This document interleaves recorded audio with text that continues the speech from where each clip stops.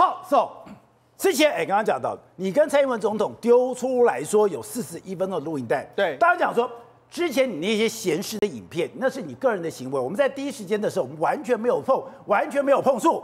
可是当你碰到了录音带，而且你是跟总统录音的时候，大家觉得这个是非，这个事情大了。对而且如果说你跟总统总统聊天的话，那有没有涉及国家机密？如果有涉及国家机密，你把它录下来的话，那这些国家机密有没有外泄？你现在民进党一直告诉我们说你要抗中保台，要保护台湾，那这个是不是我们国防的一个大漏洞？这跟国国防三法有没有关系？这跟反渗透法有没有关系？现在又跑出来一个十三分钟，十三分钟，哎，居然是跟苏贞昌的对话。没错，现在全台湾民众都很想问罗志正，志正，这真的是你吗？真的是你录的吗？我怎么这样说？王九，我跟大家讲，他的影片来说，那是他个人的事，但是他录了，原本录了蔡英文总统的事，我们就已经觉得很夸张，就没他今天又爆出来，他还录了苏贞昌的音啊！连苏贞昌都跑出来一个，四十一分钟，一个十三分钟。当然，罗志正委员的说法是说啊，这个这个是这个所谓这个境外借选的问题啦。问题是被他卷卷这个这个卷在这里面的蔡英文总统。或是罗这个苏贞昌院长都没有说任何一句话，他们只要说啊，没有这回事啊，我没有跟志正谈过这件事，我没有跟他这个讲过这些话，没有讲过这些话就没有啦。对问题是目前为止来说，只有他说是境外界选，其他人都没有说任何的话。而且呢，因为这里面的档这个录音档里面来说话，讲的真的都蛮巨细民意的。譬如说，像跟蔡英文总统讲到风水改运的事啊，驻美人士的事啊，吴钊燮的事，还有这个赵一翔的事，哎，这都真的是对得起来啊。不是连苏贞昌在新北得罪很多人，他都讲了。那另外包括说他这个跟这个苏贞昌的对话里面来说的话，邀他一里面是苏贞昌邀请他当行政院发言人，这个是哎事情也是对得起来啦，真的都还蛮真的。那到底是怎么样？我们现在问的是说，哎，你这个录音到底你为什么会有这个录音的习惯？那为什么你能够录得到音？那你是录给谁听？还是你要做什么？还是说你录了这这两个人，还有别人吗？还是还有什么东西呢？我们大家完全都不知道。那当然，我们这时候是说，哎，这个是因为我们就讲牵扯到总统，还有我们以前的阁揆，哎，这个不是一般的事情啊，对这是国安问题啊。那目前为止当然调查局马上就立案调查。问题是调查局目前的说法说啊，我们现在获得的这都是好像疑似是来自 YouTube 的这个转录音档啊，我们没办法拿到原始的档案，啊没有原档不对，行吗我们要原始的档案才能够真正判读这个真伪的这个状况。所以目前为止看起来的话，哎，好像这个整个案子来说，选前应该不会有明显的这个答案的。好，那刚刚讲到的，跟蔡英文总统那四十一分钟对话，看起来非常可能是在总统府里面两个人的一个私下的谈话。对而今天跟苏贞昌，现在大家也抓出来了。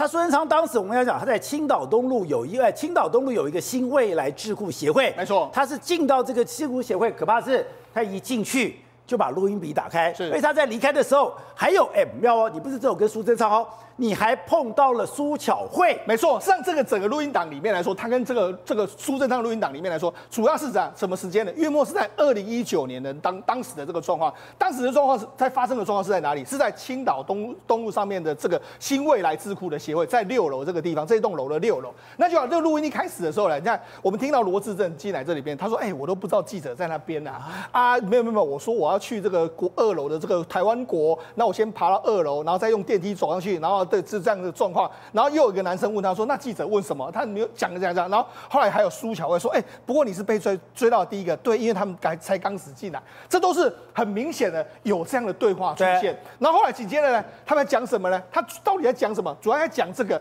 这个苏贞昌就跟他说啊，苏这个蔡英文总统拜托我，类似苏贞昌的声音，。我们都我们都说这些疑似都是疑疑似的引导啊。这个苏贞昌就说：“哎，蔡英文呢，先拜托我接下二零一八年的这个这个这个所谓所谓阁揆啊，我起来做拍名啊，因为二零一八年选后对台湾不好，那二零对民进党不好，对，然后二零二零年又希望能够立这个所谓的能够连任，然后立委能够更好，然后说这个我这个行政院不是一个人能够打造的团队，那请这个罗志正来担任这个发言人。那罗志正就说啊，这个这个过去有很多这个事情，他可能也发生过。这个他之前有那件，他说那件事就疑似二零一七年他被爆出来，他跟助理的事嘛，他说可能会影影响这个苏贞昌的团队。然后苏贞昌就说啊，出事团团队会扛啦。那我们我们就说这个我们觉得你不错，不然我不会跟你提。然后罗志珍还说啊，我要再讨论一下，我明天十点再给你讨给你答案。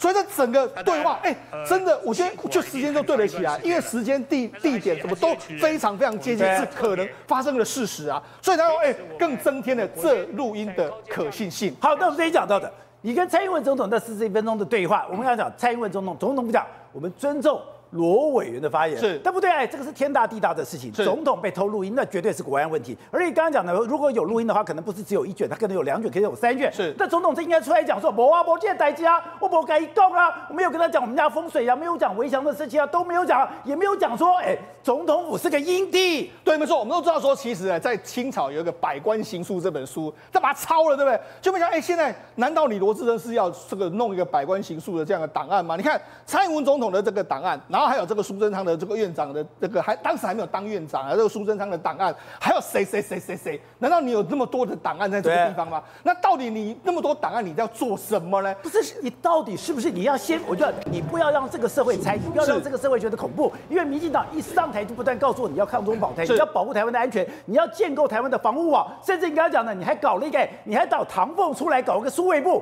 你还什么的在网络安全啊？这不就是一个非常清楚的事情吗？如果真的有境外势力介入，真的有人伪造了蔡英文总统的音声音，伪造罗志正的声音，伪造苏贞昌的声音。那不是很严重吗？那不是影响台湾国国家安全吗？我们的政府不是应该第一时间告诉我们说没有这回事，那是假的，你眼睛业障重。目前为止来说，政府的说法并不多，但是我们来看一下罗志正的这个说法。你看，当初一开始爆发网军的时候，他马上就说啊，这是这个假的，是假造的。然后紧接着说，哎，传传这个影片是假的，是可能会触法哦。然后紧接下来有传出蔡英文的时候，他当时就说啊，这个是非法变造。然后紧接下来的话，哎，洪森汉他又说，你看果然是这样子的一个状况嘛。但是呢，目前为止爆出这个所谓苏贞昌的档案的时候，他今天就没有说话了。没有说话，没有说话。今天的第一个时间来说，他当然是请出了他的夫人出来，就是说啊，这个这个是这个怎样的一个状况，要求这个好像是博大家同情的感觉，你就知道说，哎，他今天就没有说任何一句话的这个状况而。且我们那天也特别谈到是，是之前有一个赵天麟，然后有一个马文君，对现在又有一个罗志正，是哎，你是怎样？你是国防外交都有问题吗？对，没错，我们知道，事实上赵天麟当时我们就看看多，哎，说他跟中国友人相当的这个密切，但是事实上我们必须说，罗志正委员呢，我们现在更担心他。哦我怎么更担心他？你看。这都是我们去找出来，罗志政委员他他去了很多地方。你看，譬如说，你看他曾经在二这个去考察这个太平岛，在一一百零五年的时候去考察太平岛，然后一百零六年的时候就去考察乐山雷达基地的一个状况，然后紧接下来又去考察我们南海的这个基地，还有我们空军 IDF 的升级的这个计划去汉翔考察。哎，他去了很多地方都是绝对机密耶。那你哎，我跟大家我跟大家一个问题，你当初会蔡英文总统的录音你都录得到，那你觉得他去这个地方，他如果也录音了呢？那怎么办？所以我们才说这个问题为什么知识体大，是因为罗志正委员本身他那个身份，他可以接触到的机密太多太多了。那不是我们多么希望政府告诉我们说这不是真的。对，所以目前为止来说就是这样一个状况。那我们就知道，其实当初在二零一九年的时候呢，这个当时蔡英文就说嘛，国安三法的修修正要快速的这个完成，然后以任何人不都有不同的立场都没关系，但是背叛国家、伤害台湾人民就要最严厉的处分嘛。那好，那怎么最严厉处分？我们会看到说。最近一段时间不是很多这个地检署啊，基隆地检署、新北地检署，然后宜兰地检署，哎，里长带了这个这个民这接受招待去中国参访这个问题，你看马上就哎。这个基隆地检署有二十九个，马上就给他招来这个约谈，然后新北地检署也在约谈一些里长，然后桃园地检署也是约约谈非常多里长，然后还有台中就是这样的。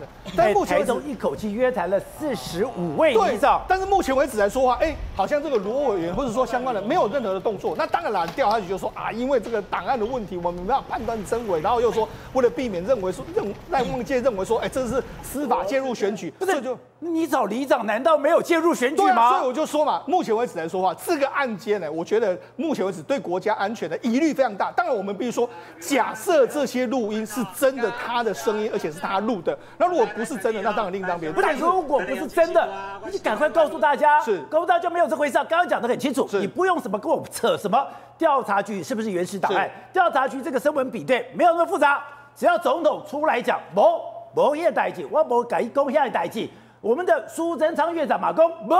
某业的代志，我们说话的内容跟这个录音带内容完全没有关系。对你总统敢给我报报警，院长给我报警，我就相信啊。没错，现在只要这个当事人，但罗志正一定说是这个外面借选嘛。但是如果你是相对应的被录音的那一边拍板定案说，哎，没有，我们绝对没有被录音，啊那当然就会没有。所以才说嘛，这个问题来说，我觉得全全台湾民众都在看接下来这个事情会怎么发展。好，玉凤，这个事情要怎么发展了？上次不是讲的那四十一分录影带，然后讲说丢到调查局，调查局不是讲说他已经立案调查了吗？立案调查怎么又讲说啊不啊嘿嘿是 YouTube 上来的啦，嘿不是原始档案的，对不是原始档案。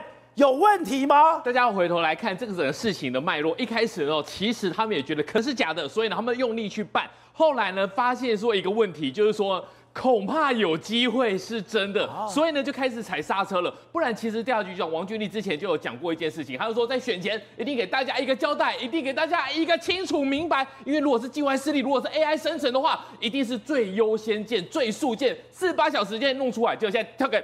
不行了。教局长讲过这件事，这件事情讲完之后呢，会不会发现说不太对了？影片一出来之后，大家觉得说搞不好是被人家弄的。后来声音档出来的时候，发现嗯，这个奇怪。然后呢，他们在查的时候呢，其实原本是有机会来把它取证完完成的。但后来发现说，如果后续还有的话怎么办？所以他们原本是要用一个方式，就是说这个东西很难去厘清，因为他的录音档里面只有男生的声音跟女生的声音，然后呢有一段女生的声音还不清楚，然后这样子呼呼的鬼气啊。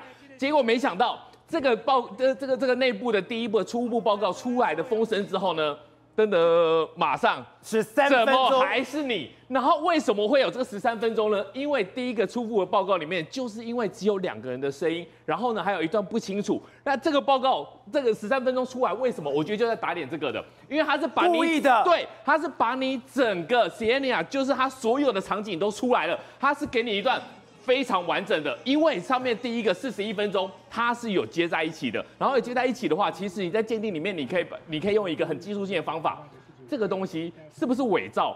那很难讲哦，不是声音伪造，但是两个人接在一起，你也可以说它是伪造啊。所以呢，这一段就是真的是完全打脸，他给你从开始到结束，他挑了一段。完完整整，然后呢，在里面有男的声音、女的声音，然后这个场景，他们今天听完傻，昨天晚上听完傻眼。昨天晚上，因为有进去，然后呢，还有到电梯里面，然后上去讲话的时候，那个场景出来了，它是一个 L 型的，书的声音应该是从这边出来的，然后呢，罗这边的声音，我们先说不知道是不是他啦，但是它的 L 型的这个方向都已经出来了，然后呢，甚至呢，还有其他不知名的幕僚。苏小慧的声音，大家可能听得出来嘛？然后到最后要送她离开的时候，还有一个男生的幕僚的声音。其实，如果你以鉴定的角度，幕僚的声音说：“记者问你什么？”对，所以呢，这个东西其实在昨天晚上，台湾的监视专家大概都被问了一轮。哎，苏贞昌喜相，他是干过阁魁的人，他阁魁干了几年？他没有提拔几个监视专家吗？昨天晚上有一堆的人被问，问完之后呢，这个答案大概就是清楚明白了。所以这个十三分钟的录音档才真的是让这件事情其实一锤定音。对，这太可怕了，这代表说真的是境外。我现在相信，对，那真的是境外势力介入了。对，可是这个境外势力介入，感觉上我们就找到了一个破口了。我丢先丢录影带，对，丢录影带了以后，你还可以说那是私人问题不处理，然后我就给你丢四十一分钟的录音带。最后是这分钟录音带的时候，你还想把它和谐过去？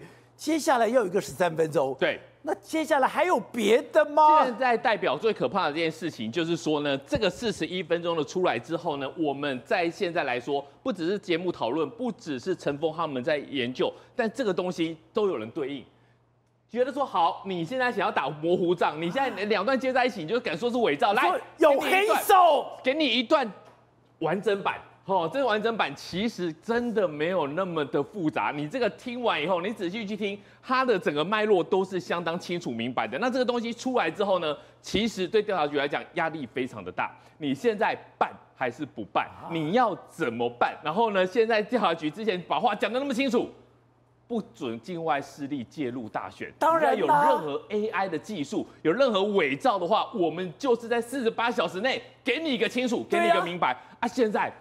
你当时就告诉哎，我们相信两个天了，你会保护我们，你会保护台湾，然后你就把我台湾弄了一个金光罩、金光罩、哎，金钟罩铁布衫，把台湾弄得固若金汤，保护台湾安全。结果哎，这个录音带如果是假的，你应该告诉把赶快告诉我说那是假的，叫大家不要这样子怀疑，不要在这种怀担忧。可是如果是真的话，那不是人家打到我的内部来了吗？因为现在来讲，如果是真的的话，那件事情会非常非常的复杂。罗志正委员长期在哪边呢？在。外交外交委员会，所以呢，他今天其实连一号、二号都已经录完了。总统如果真的是他录的话，总统跟阁委都已经录完了，其他的人你会不敢录吗？对，他们这个档案最可怕的是是。呃，这男生是到那里去的。那如果是他以委员的身份来讲的话，你叫来委员办公室，我叫你交东西，叫你讲东西，你敢不敢？你你敢不说吗？所以这些东西来讲的话，最可怕的是到底这个档案到底还有哪些到底还有哪些人都已经被透露了？